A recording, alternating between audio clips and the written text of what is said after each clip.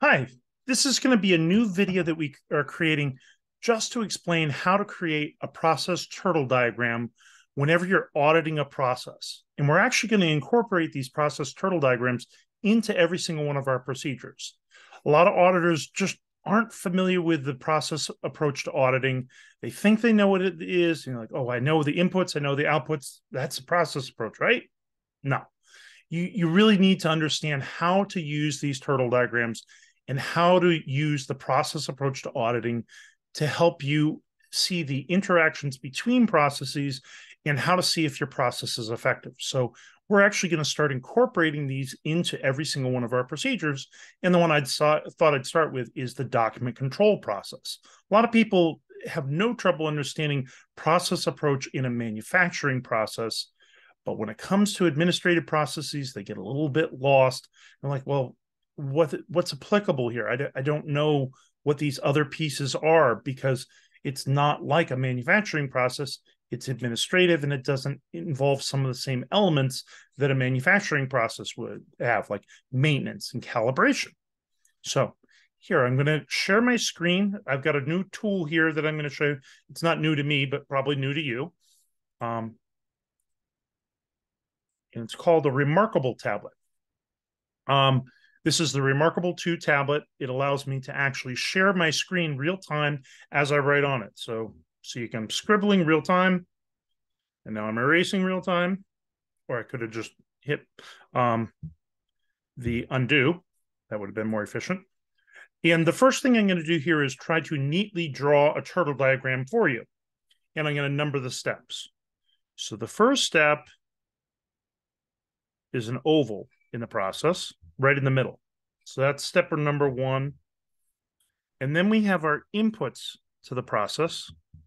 That's going to be step two. Step three, we're going to have our outputs. So I, I should probably label these. So I will use a thinner marker for you. Uh, description. Inputs, outputs. I'll make my video a little bigger here for you too.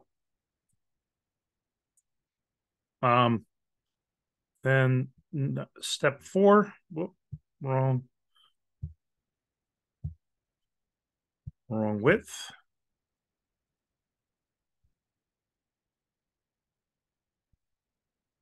That's number four. That's number five.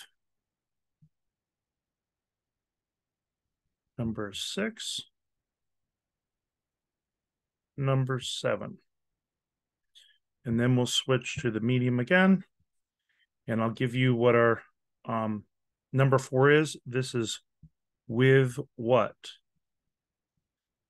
This is with who?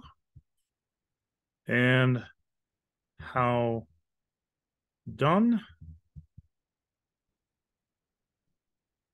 And then last but not least, the metrics. So now that I've given you, this is a general turtle, turtle diagram. You can go in this order. It's when you're new to this, it's better to follow this order one through seven. But once you've done it enough times, you won't have to go in order. You'll think in turtle diagrams and you'll be able to jump in and out of order without any trouble and say, which ones have I covered yet? Because there's only seven. It's not like a regulatory checklist where I have 20 different things I have to remember in multiple different standards like ISO 1345, 21 CFR 820, um, the CMDR for Canada, the MDR for Europe. I don't have to remember everything. All I have to do is remember the seven and it's the same for every single process. It doesn't matter what it is, they all can use this same seven step process. So if I want, I can start with procedure, which is step six how is it done? Or I can start with training who does it? Step five. Or what do you need to do this process in terms of physical equipment and environment? That would be step four. With what? So I'm going to walk you through the different phases here and I'll describe them as we're going. So the first step is we're going to have the whole entire process begins with a DCN number that is assigned in our um, in a log, a DCN log. DCN stands for document change notice. So this is in um, this is in narrative form. So you're you're asking the process owner, you're interviewing them. So you always want to be interviewing a person, not just reading procedures, not just reading a manual, but actually talking to the person that's doing this. And you start out the interview for the process approach by interviewing the process owner or department head. So how how is the document control process done? Because I'm I'm focusing here on the um, this is document control. So that's the process. And so we have a DCN log. We assign the next sequential number in the DCN log. We fill in the DCN with the procedures that we're revising. We indicate the date that we're initiating this process. We indicate who's initiating it. Um, we'll indicate what the reason is for the changes. Um, we'll indicate what has changed in this DCN, and we'll indicate the approval date when we're all done. Um, so those the that's the basic process that we're going to follow for the DCN process. Um, and so maybe we could just describe this as the DCN process description. And then what are the inputs into the DCN process? Well, that might come from your management review process. So this is the process that precedes the DCN your management review, you identify changes in processes, and we say, oh, somebody needs to update that procedure. And maybe it's because a standard has changed. Um, a couple years ago, we had the um, ISO 14971 standard change from the 2007 um, version to the 2019 version. If you were using the European version, it was 2012 and now they have a new amendment, uh, one that's harmonized for 14971 that I believe is a 2021 amendment. So your management review identified the need to change and you initiated DCN, which is the process. And when the whole entire thing is done, what are we going to have? We're going to have a brand new approved DCN. Um, we're going to have an archive of an old version. And I'm writing these all in this um, heavy marker. So I hope you can read it. Plus, my handwriting's pretty poor. Um, that's why I type. And then in addition to that, you're going to have the brand new procedure.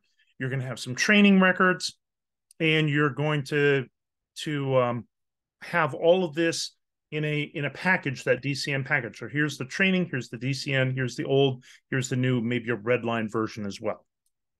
You might even have a gap analysis. If you're going to do a complete rewrite of a procedure, it's a good idea to do a gap analysis. If you don't um, do a complete rewrite, you're only making minor revisions. You just need to make sure you didn't change anything that would affect the applicability and compliance. So um, if you've got uh, in your procedure already places where you've identified what are regulatory requirements, then you know to avoid changing those or rewriting it in a way that would make those non-compliant. The next section, step four, with what? As I said, a lot of people are unsure of how to apply the process approach to anything that is an administrative process because they don't have equipment, um, they don't have calibration, they don't have maintenance. So those are what I'm normally covering in here. You might have process validations. That'd be four different things that I can't really apply to step four, but that doesn't mean there's nothing. Usually with administrative processes, particularly in this digital age, we have software. So a lot of people forget that you have clause 4.1.6 let me try that again. 4.1.6. And that uh, clause is specific to validation of quality system software. So it's different from 7.3, where you'd have validation of software that's embedded in your device or software as a medical device. That's design validation. We're talking about software for the quality system. And it's also not the calibration software either. That would be a different clause in 7.6. So 4.1.6 would be the clause. You could also have uh, a different standard. I believe the number is um, IEC TR 80002-2. Um, I sometimes forget the organization. It could be an ISO standard, but it's a technical report on how to validate um, quality system software. And they give you examples in the back. So if you're not sure, that's definitely the standard to go to. So with what that's really helpful. And you might list that standard as an input also, and um, or um, it could be in the how done. It could be referenced in there. But it, you need to make sure that you're covering um, what are the applicable standards for this process.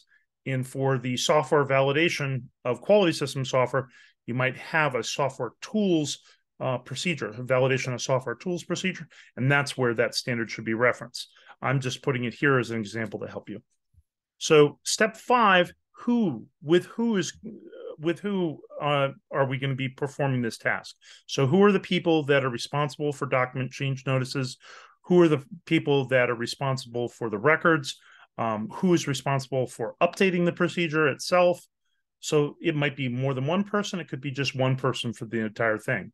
Some companies centralize it and they have a, a person in charge of document control, and that person is the document document control manager, and they do everything. Other companies they have the each process owner is responsible for the DCN, and they're all trained on how to do a DCN, and they just have to make sure they follow all the steps in the procedure.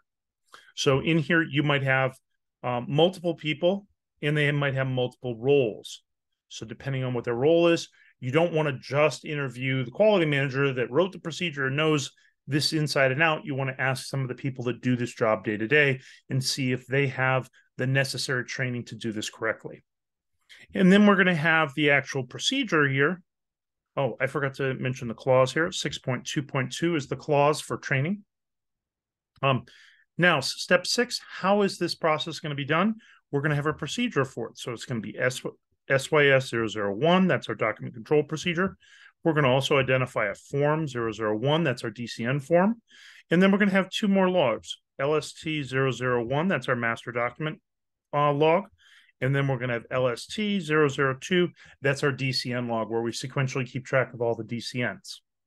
So you, you go in there and pick the next um, one on the log. Now, the last step is the metrics. A lot of people leave this out of their procedure, but the metrics is one of the best places to identify preventive actions and ways to improve your process. So when you're looking at metrics, um, I think it's 7.2.5 is the clause, I'm sorry, 8.2.5 is the clause in the ISO 1345 standard for how to review, um, monitor, and measure processes. Whereas you have another clause, 8.2.6, I believe, is for monitoring and measuring a product. So, how many products are rejected, how many are accepted. This is for process. And this is where you might say, how long does this DCN process take from beginning to end? How many procedures um, have been are more than a year old? So you might keep the average aging of these procedures. These are would be potential metrics that you might have. You might even have a gradient like we do in your master document log that indicates green as being the newest and red being the oldest that needs revision. And there's a gradient from green to red showing you which ones um, are newer and are less in need of changes, and ones that are more red that need are more important to update soon. So that gives you an idea of how you create this process flow diagram. I created in just a couple of minutes here, and most of the time was talking and explaining what I was doing. So you should be able to do the same thing when you're auditing. But we're actually going to incorporate these process uh, turtle diagrams into the procedures for each um, process. So it gives a little bit more value so you don't have to go and create your own process uh, turtle diagrams. Or if you're not sure how to create one, you can look at how we created it and you can create one when you go do an audit.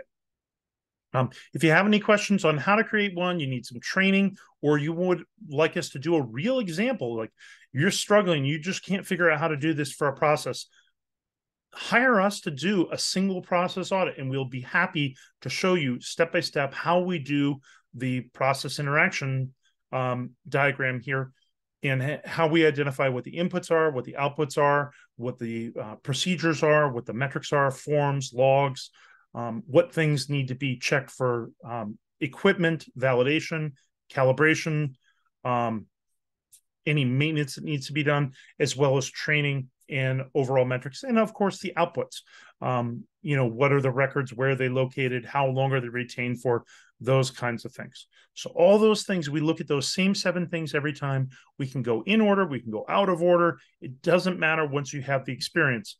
But if you're struggling on how to do this for your process, just hire us to do a, a, single process audit and we'll show you how we do this. And you'll have an internal audit report at the same time on that process. And the best time to do these single process audits is when you've made a change. So let's say you just got a 483 from the FDA, you write up a CAPA, you fix the process to make sure the process is effective, have somebody do a single process audit of that after you've made the changes and everybody's trained and you have a couple of records. That's the best time to do those audits. Uh, another example of when you might do a single process audit is you have a problem at a supplier. So let's say a supplier has a um, a labeling process and they keep on making labeling mix-ups perfect time to have somebody go in there and look at labeling controls for that company.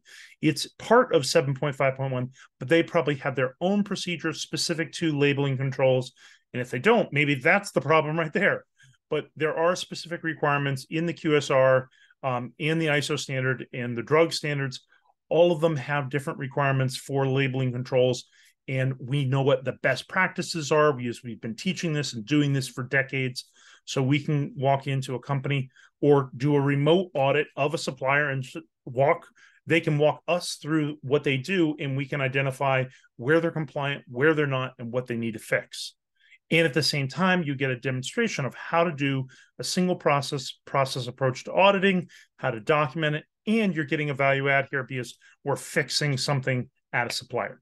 So if this video was helpful to you, please uh, like it and share it with other people. And maybe your own suppliers might improve a little bit if you shared it with them. So please share and let us know if you have any questions in the comments below this video. Bye bye.